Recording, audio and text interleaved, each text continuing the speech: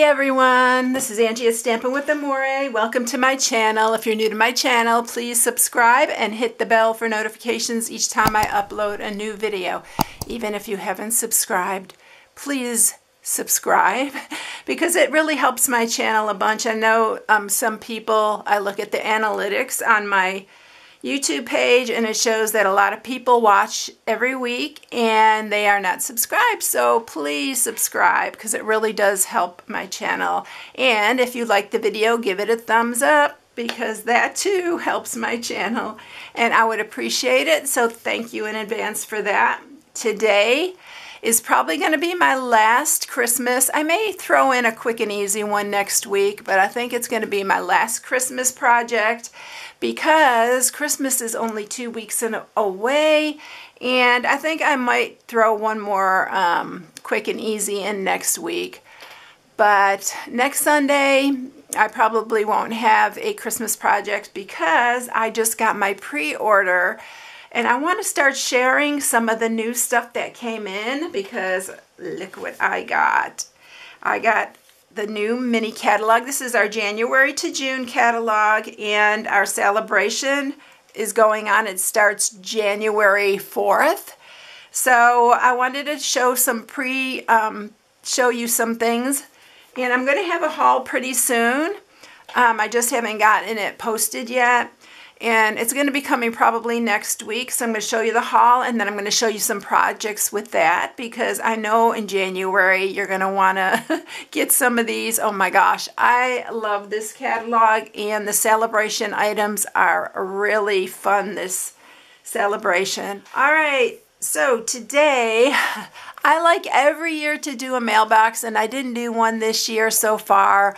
So I made this cute little mailbox. This is a lot different than the ones that I've made previously. But this uh, comes up like that and on there it says North Pole Delivery. This is the same stamps that I used I think on last year's project. And then this year I used the Christmas greetings and I used Merry Christmas. I put a little tree on the top. You can actually decorate this any way you want, but on the front I put US mail because I thought that was so cute. And this box just slides out and it's a nice size box. It's a pretty good size box. It's uh, five inches by two and three quarter inches and it is two inches deep. You can fit a lot of candy in here. You can also not only do these for Christmas but Valentine's coming up. You can fill it with Valentine Day candy and just take change your sentiments of course and stuff and we have some really cute Valentine stamp sets coming up. So this is what I'm sharing today. I love this one. I thought it turned out so cute and it's rather easy. So let's get started. All right, so for this, you do need a 12 by 12 piece of cardstock because the piece that's for our box, because the box is pretty big, this box is 10, or this piece is 10 by 10. And then for the part outside of the box, you need a piece that is 11 by 5 we are going to mat that and the matting piece is seven and a quarter by four. And then we are matting the box. You can mat all the sides of the box. I just did the one side that shows and the top. And one piece is two and a half by four and three quarters and this piece is two and a half by one and three quarters. And then I have an extra piece for my punching my tree and then these two pieces for the ends are 5 eighths by 7 and 3 quarters. You do need some for the little pieces that are for the little mailbox handle that comes up and the arm of the mailbox. And then this piece is for the arm of the mailbox. It's 3 quarters by 3 and 3 quarters. I know a lot of measurements, but I will be posting the inspiration sheet. I post the inspiration sheets on my blog uh, every time I do a project. So you can always go to stampingwithamore.com and get all the measurements there. All right, let's get started on it. So what we're going to do, I did already pre-cut the two little pieces that I showed you for the top of the mailbox, the, the little arm. We're going to stamp these. And then, and I did stamp the, the inside and the outside because you can see it from both sides. And then I also used my Playful Alphabet dies. These are the dies with all the alphabet, and I've already done the U.S. mail from this. That's what I'm using for that. And the little top part are, is the Stitch So Sweetly, and I used the one that fits in here for that. All right, so this one, let me tell you what size this is so you know. It's one and a quarter by two and a quarter. So that was the size of that. You are going to also need some brads so the handle goes up and down. You can glue it on if you don't want to put brads on. You could just glue it straight up if you want. I thought it was cute that it could go up and down. And the stamp sets. Now, just use what you have. I mean, um, I love that it says Christmas greetings because it was perfect for a mailbox. So I use that from the Sweet Little Stocking. And the Perfectly Plaid, I'm using the Pine Tree Punch that goes with this and the North Pole Delivery, which I love this one. It's one of my favorite. And I've used it several times for mailboxes. I'll post some of those, or I'll link them in this video, a couple of those, that you can see the ones I've done previously. And then I just use the Merry Christmas from the Sparkle of the Season. All right, so let's score the 10 inch by 10 inch piece first here. So you're going to score on one side at one half two and a half, seven and a half, and nine and a half. And then you're going to turn it on the other 10 inch side and you're going to do it at one half, three and a quarter, five and a quarter, and eight.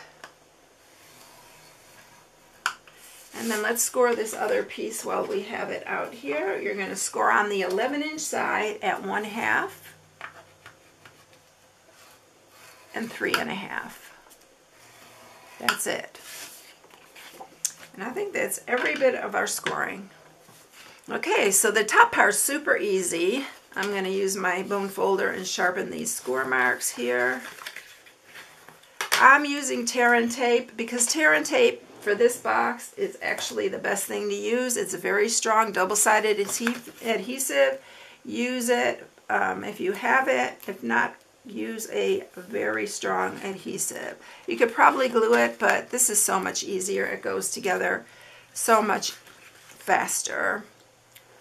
remove your backing. And then you're just going to pull this over and line it up to the edge.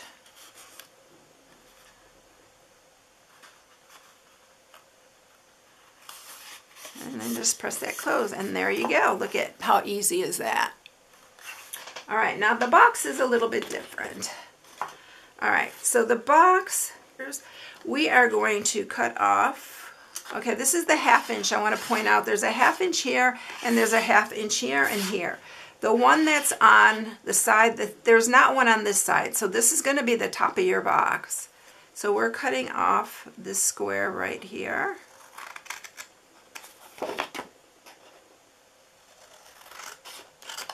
These both sides have the half inch. So make sure you're cutting on the right side.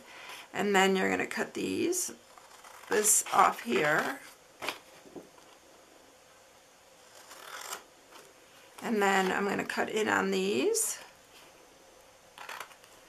And then we're cutting up the sides here. And the reason I said that is the reason I you have a half inch on both sides is because I wanted those little flaps inside. So we're cutting that. I'm just going to cut on the inside of this. I'm going to cut these. This is going to, middle one's going to be our flap that folds inside this box.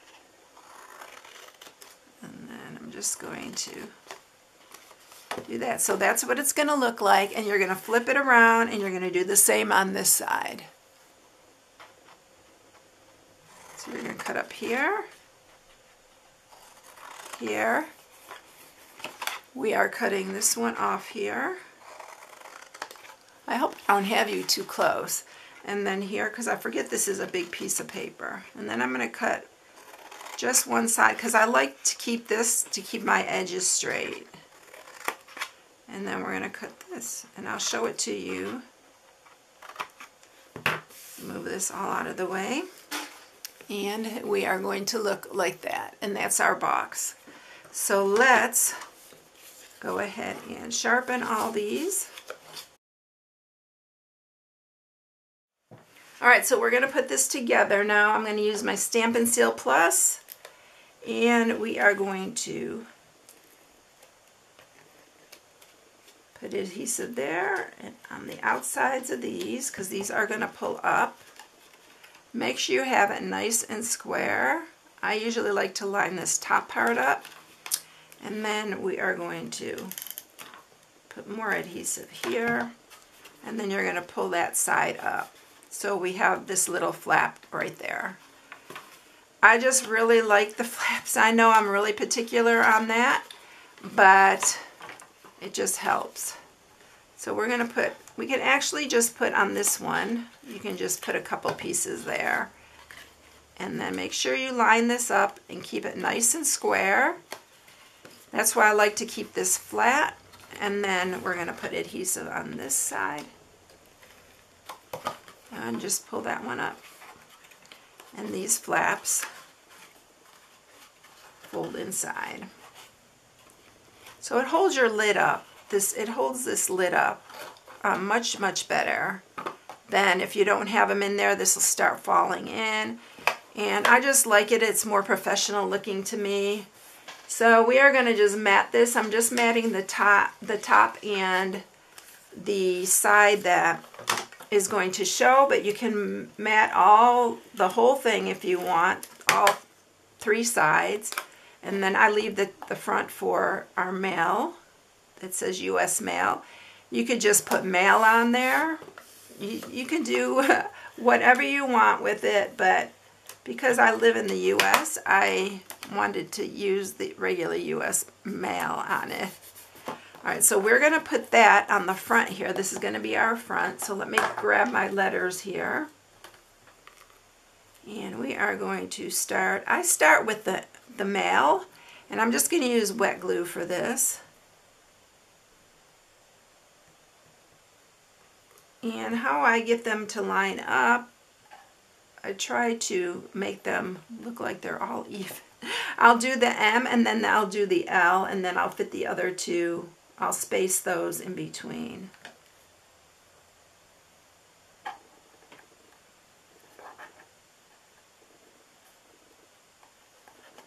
And then we'll put the A and the I.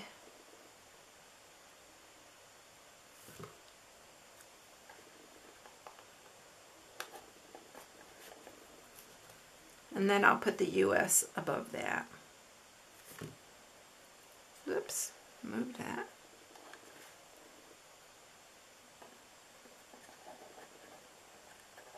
Try to keep them straight. There we go.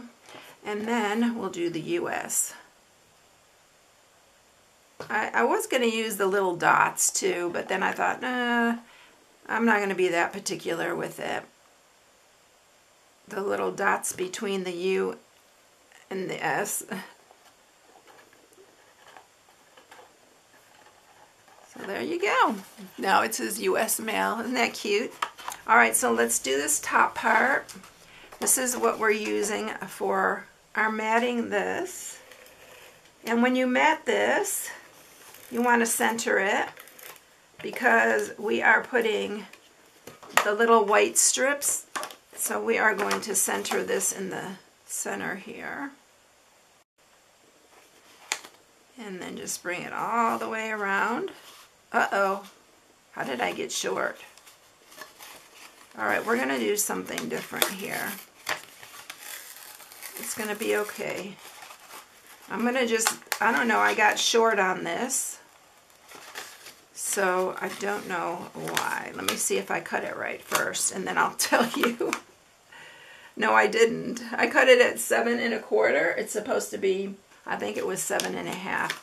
So I'm going to just leave a little space at the bottom on this one. see if I can get it even on both sides. Yeah. So we're just going to leave a little space. It's a half inch short. So it looks about a half inch, maybe a quarter inch short.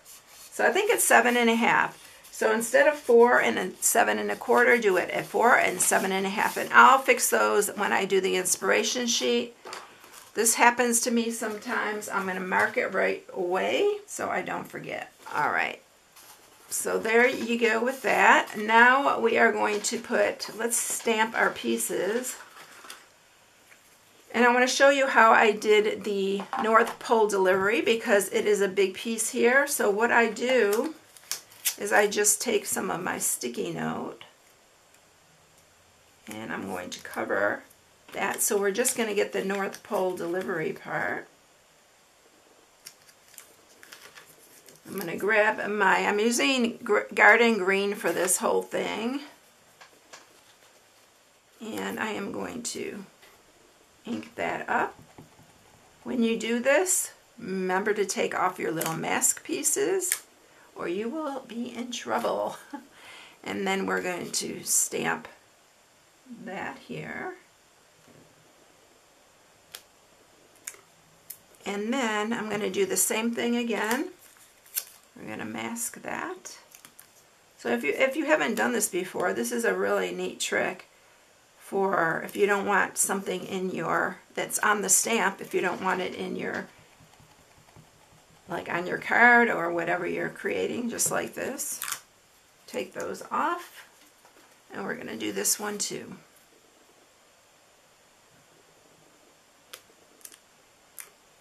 All right, and then I'm going to go ahead and I am going to stamp these while we have the ink out. And I'm going to do the Christmas greetings. And you want to try to center these on here because it's going to be on the top of your box. So you want to try to center it on the top of that. So there's our Christmas greetings. And then we have the Merry Christmas.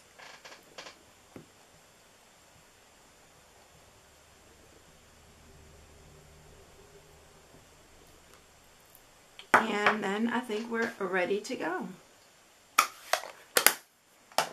All right, now to make this little thing here, we're gonna, I'm gonna use some um,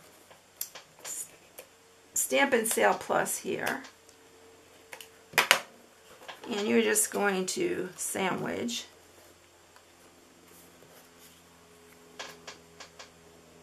Oops. Did I do it on the wrong side? Let's see. Yeah, I need to put some on this side. I'm going to put this down here. And then you want to cover this other one all the way and then put this one on here. And just line them up, the little scallops up. And there's our little pole. Now I'm going to grab one of my little brads here. You can use any of these, any color, any shape. That We have round and square in here. And be very careful on this part because you may poke yourself and I don't want you poking yourself. So I am going to just put a hole right about here. Maybe I'll move it up a little bit. And then we're going to put this on here. I need to put a hole on this one too. Be really careful with this paper piercer. It can be dangerous. And we'll put this through here. And then through this other hole. And then just open your brad on the inside there. Did I put it on right? I think I put it on backwards. Yeah, I did put it on backwards. So let's do that again. Let's take that out. You can put it either way. It doesn't matter. On a mailbox, they go both ways, but on a, I know on our mailbox it goes the opposite way. It goes this way. So we're going to do it this way.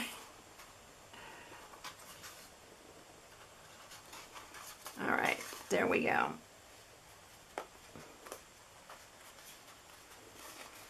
All right, so it'll go up and down just like that. Isn't that cute? I thought that was so cute. All right. I did design this myself, by the way. Um, and then this is just going to slide in here like that. I am going to put on our little pieces here. This is the front. I'm going to put the Christmas greetings there. You can use wet glue. I'm going to just use the Stampin' Seal Plus because of the video. It's a lot easier for me to. In fact, I want to do it this way first. And make sure your edges are all lined up too. I feel like, um, and there is a little bit of a, that you do have to trim. I feel like the wet glue holds this a little bit better, and that's what I used on my other one. So whatever you have left, just trim that. And, but I don't want to sit and hold it while we're in the video, so we're doing it this way. Again, make sure your edges are lined up. My husband's going in the backyard, and my little girl, she likes to bark. Every time he goes to the in the back, she wants to go too. So sorry for her barking. and then just trim that little piece off. It's easier than trying to cut it that's exact size. All right, so look how cute now. All right, now I am going to use my little punch and my pine tree punch here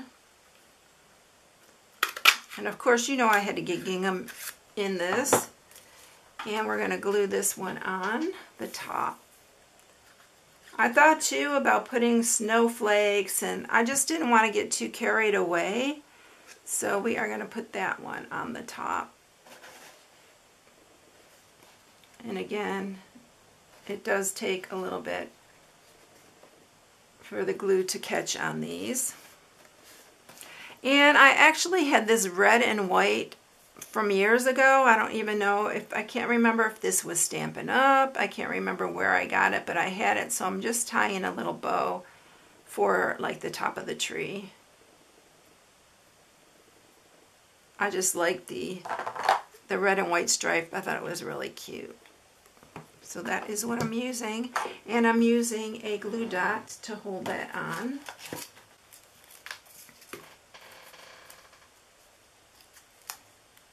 I told my husband he needed to buy me a new chair for Christmas because this thing, it's so squeaky. it, it, it, drives me crazy, especially when I'm doing my, editing my videos. And I can hear that thing squeaking. Oh my gosh. So sorry about the squeak.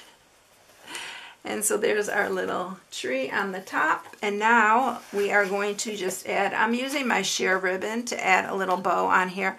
I just felt like it needed something here. You don't have to even put a bow, but I just decided to put one on the side here.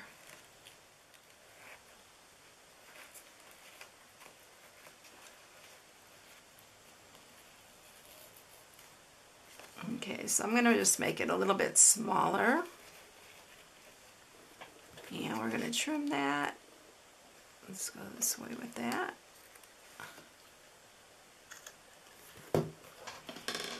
And there you have it. Isn't it cute though? I thought it turned out so cute. All right, here's the finished just like that, and then this slides out. But All right, everyone, so there's my little Christmas mailbox. I hope you enjoy it. If you need any supplies, you can shop on my blog at stampingwithamore.com. If you spend $50 and you use this hostess code, I'm sending you a free gift this month. And they are the pastel pearls. I don't think I've told you what they were, but I love those pearls, and so I'm going to pass them on to you to use.